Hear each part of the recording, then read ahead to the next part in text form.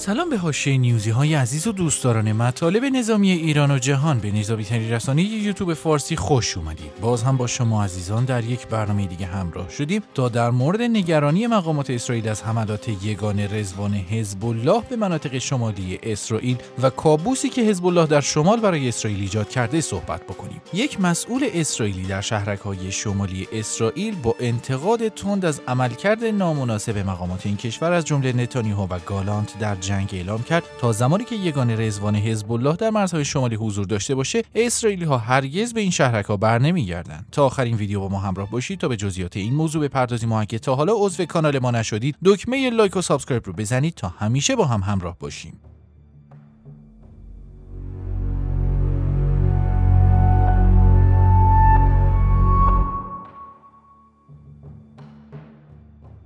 در شرایطی که شهرک نشینان در شمال اسرائیل از ترس های حزب الله این شهرک رو تخلیه کرده و به ارتش اسرائیل برای محافظت از شهرک ها اعتماد ندارند رسانه های غربی به نقل از آویخای استرن رئیس مؤسسه موسوم به شهرداری شهرک کریات شمونه اعلام کرد که بنیامین نتانیاهو نخست وزیر اسرائیل و یوآو گالانت وزیر جنگ این کشور انگار در واقعیت زندگی نمی‌کنه. این مسئول اسرائیلی اعلام کرده که یگان ویژه رزوان حزب الله همچنان در حصاری مرزی حضور داره و شهرک نشینان اسرائیلی تا زمانی که نیروهای رزوان در این مرزها باشند به خونه های خودشون بر نمیگردند.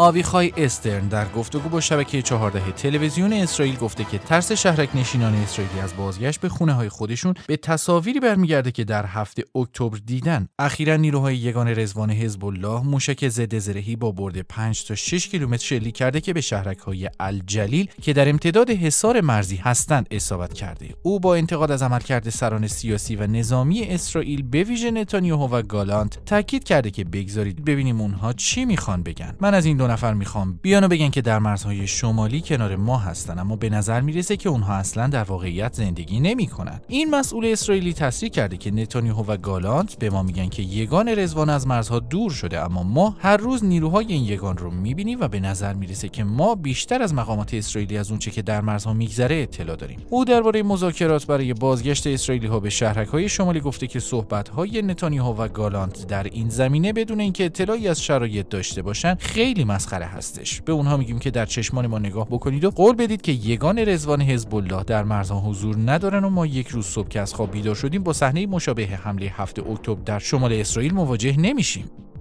روزنامه عبری معاریف هم در این زمینه اعلام کرده که ساکنان شهرک های شمالی به شدت از اظهارات یوآو گالانت درباره بازگشت اسرائیلی ها به این شهرک ها عصبانی هستند. این رسانه اسرائیلی تصریح کرده که خیلی از مسئولان و ساکنان شهرک های شمالی از این صحبت های گالانت خشمگین شدند و به اعتقاد اونها حتی در صورت اعلام آتش بس و پایان جنگ هم مقامات اسرائیل نمی‌تونن تهدید حزب الله علیه اسرائیل رو برای همیشه حل بکنند چند روز قبل روزنامه نیویورک تایمز در این زمینه به نقل از آویخای استرن گزارش داده تا زمانی که کابینه و ارتش اسرائیل تضمین نده که حزب الله حمله غافلگیرانی مشابه حماس انجام نخواهد داد ساکنان شهرک های شمالی نمی‌تونن به خونه های خودشون برگردن. نیروهای حزب الله در حصار مرزی حضور دارن و تا زمانی که این تهدید رو برطرف نکنیم هیچ کس نمی‌تونه تضمین بکنه که ما یک روز صبح از خواب بیدار میشیم و اتفاقی مشابه حادثه‌ای که دو ماه قبل در شهرک های اطراف غزه رخ داد مواجه نشیم. بلومبرگ هم با اشاره به اینکه شهرک های شمالی اسرائیل از ترس حملات حزب الله تبدیل به منطقه متروکه شدن تاکید کرده که برگردوندن شهرک نشین ها به این منطقه یک چالش بزرگ برای اسرائیل و حضور نظامی اونها در مرزها نمی‌تونه تهدیدات حزب الله رو کم بکنه.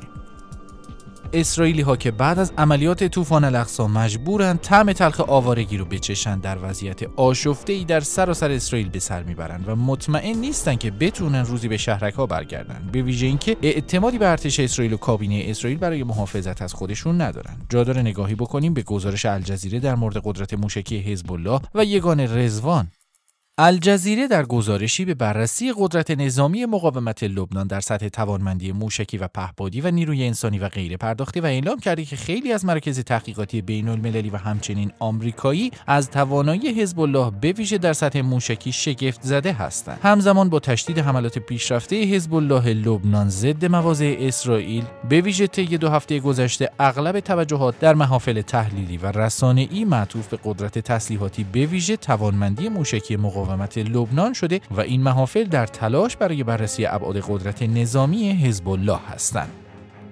در همین زمینه پایگاه شبکه الجزیره در گزارشی اعلام کرده که حزب الله دارای زرادخانه عظیم تسلیحاتی که اندازه دقیق اون مشخص نیست. اما فعالیت های مسلحانه اظهارات مقامات این جنبش و همچنین تحقیقاتی که در این زمینه انجام شده نشون میده که زرادخانه تسلیحاتی حزب الله همچنان در حال توسعه و گسترشه. حتی خیلی از مراکز تحقیقاتی آمریکایی حزب الله رو بزرگترین و قویترین گروه مسلح در جهان می‌دونن. مقامات حزب الله هم بارها با اشاره به قدرت نظامی عظیم این جنبش اعلام کردن که موشک‌های پیشرفته اونها می‌تونه تا عمق اسرائیل برسه الجزیره اضافه کرده که حزب الله به عنوان یکی از اعضای اصلی محور مقاومت مجربترین، سازمان یافته ترین و قدرتمندترین گروه در این محوره و تخصص و تجربه های خودش رو به بقیه گروه های مقاومت هم انتقال میده. جنگ جولای 2006 با اسرائیل نقطه عطفی بود که قدرت نظامی و زرادخانه حزب الله رو به سطح خیلی پیشرفته ای رسوند. در اون زمان حزب الله حدود 15 هزار موشک داشت اما حالا تعداد موشک های اون به بیش از 10 برابر این تعداد رسیده که شامل شمار زیادی از موشک های نقطه زن هم میشه. بر اساس این گزارش نیروهای حزب الله همچنین در سطح کمی و کیفی عملیات های زیادی در زمان بحران سوریه مقابل گروه های تروریستی انجام دادند. جو مکرون تحلیلگر امور خاورمیانه میگه که پیشرفت حزب الله خیلی شگفت انگیز بوده و این جنبش تونسته یک زرادخانه از انواع موشک ها برای خودش ایجاد بکنه و با این قدرت نظامی قادر به موشک باران اسرائیل با هزاران موشکه. تعداد دقیق موشک های حزب الله مشخص نیست اما طبق بعضی از گزارش ها مقاومت لبنان بیش از 150 هزار موشک داره و استفاده از اونها وابسته به تکنیک حملات این جنبشه. الجزیره در ادامه به سخنان سید حسن نصرالله دبیر کل حزب الله در سال 2021 اشاره کرده که گفته بود مقاومت لبنان 100 هزار نیروی مسلح و آموزش دیده داره.